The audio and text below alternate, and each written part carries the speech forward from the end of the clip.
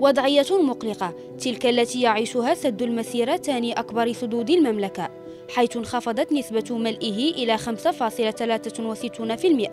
وهو أدنى مستوى يسجله السد منذ الشروع في استغلاله سنة 1979 هذا السد الذي تبلغ سعته أزيد من ملياري وستمائة وخمسون مليون متر مكعب ويتعدى علوه ثمانون مترا. يعتبر القلب النابض لحوض أم الربيع. الذي يضم أحد عشر سدا وهو الحوض الأكثر تضررا من مشكل ندرة المياه ويزود جهة الدار البيضاء سطات بحاجيتها من الماء.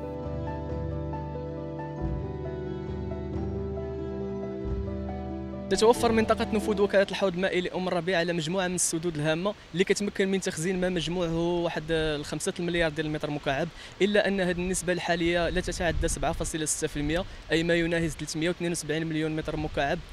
في حين هذه النسبة بلغت آه، حوالي 18.5% في في نفس الفترة من السنة الماضية أي ما يناهز واحد 908 مليون ديال المتر مكعب.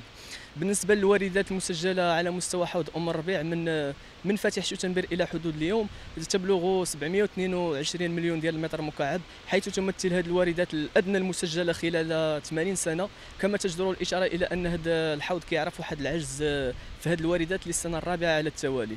ومن بين هذه السدود آه، هناك سد المسيره اللي كنتواجدوا به اليوم واللي كيتعتبر من أكبر سد على مستوى منطقة نفوذ وكالة الحوض المائي لام الربيع واللي كيلعب واحد الأدوار هامة خاصة في التلبيه ديال الحاجيات من الماء الشروب آه، لمجموعة من المدن والمراكز الكبرى.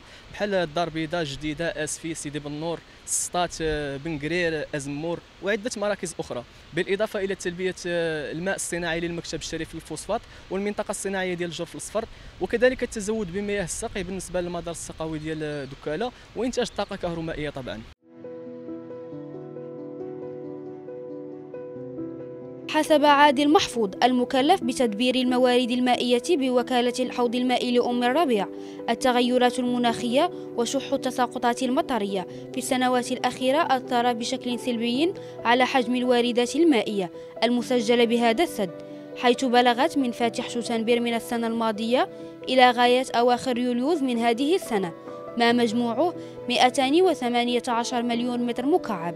مسجلا بذلك عجزا إجماليا بلغ ناقص 70% وضعية صعبة تسابق وكالة الحوض المائي لأم ربيع الزمن لتدبيرها وضمان تزويد ساكنة المناطق التابعة لنفوذها بالماء الشروب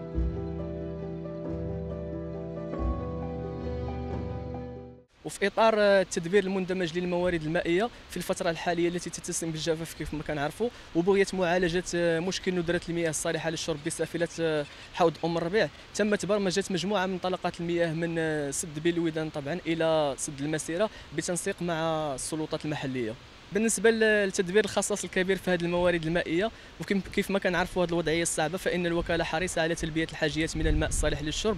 وكذلك الحس بتنسيق مع مصالح المكتب الوطني للكهرباء والماء الصالح للشرب على بلوغ أقصى مستويات تثمين الموارد المائية المسجلة من خلال إنتاج الطاقة الكهرومائية طبعا. تدابير استعجالية لسد الخصاص الكبير في هذه المادة الحيوية.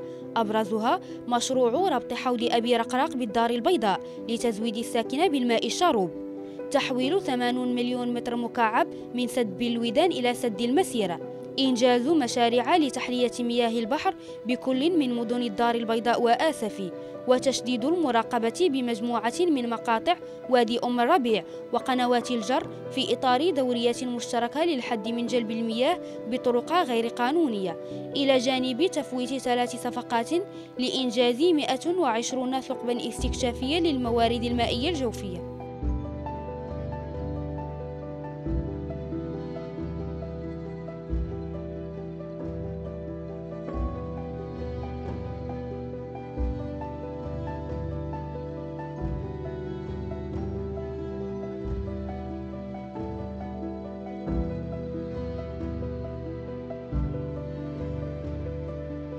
ورغم هذه المجهودات المبذولة على صعيد مختلف الوزارات والقطاعات المختصة في الماء فإن الوضع الحالي للموارد المائية كيقتضي تضافر الجهود للحفاظ على هذه الموارد. باعتبار أن هذا المشكل المتعلق بندرة الماء هو مشكل بنيوي اللي غيبقى معنا مستقبلا بناء على ما وصلت إليه الدراسات في هذا الجانب. هو اللي كيخلي المغرب في يقظه آه، لتدبير الماء وتأمين وصوله لجميع المواطنين طبعا بعيدا عن الاستهلاك الغير معقل أصبحت المياه اليوم شحيحة وكل قطرة مهمة للغاية كيف ما كنعرفوا وبالتالي اضحى الاستهلاك المسؤول والمعقل للماء عملا مواطنا ودليل كذلك على التضامن الوطني.